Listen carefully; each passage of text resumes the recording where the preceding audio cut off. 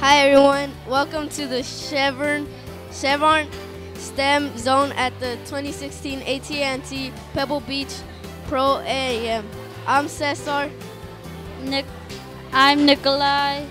Nikolai, tell us about the biofeedback ex exhibit. It looks awesome. We get to measure how fast or slow our reaction time is by catching a stick as it begins to fall. Your brain sends a signal to your hands and if you're fast, the stick won't fall far. I can hardly wait to try it. There are all kinds of, of fun things to do there here at the Chevron STEM Zone. Thanks, Chevron.